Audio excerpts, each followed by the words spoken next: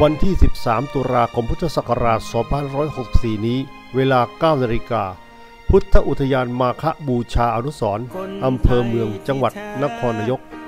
โดยเจ้าคุณพระเทพประสิทธิมนประธานพุทธอุทยาน ขอเชิญร่วมพิธีบำเพ็ญกุศลคล้ายวันสวรรคต ในหลวงรัชกาลที่ 9 ครบรอบ 5 ปี สมโพธโลหะปราศาสตร์สวรรณวิจิตรภูมิพโล อนุสรณ์แห่งความจงรักภักดี โดยดรสุธาสินีนิติสาคริน เป็นประธานและอุปถัมภ์การจัดงาน สอบถามเส้นทางโทร 087 075 5422 ครับ วันที่ 13 ตุลาคม มีนัดกัน ที่จะบำเพ็ญกุศลอุทิศถวายแด่พระบาทสมเด็จพระบรมชนกาธิเบศรพระพุทธพุทธมหาพุทธคนเด็จมาราช บรมนาถบพิตรพระพุทธคุณประเสริฐ ขอจังนทั้งหลาย ร่วมเดินทางไปร่วมงาน โดยพร้อมเพียงกันขอจะเจริญพร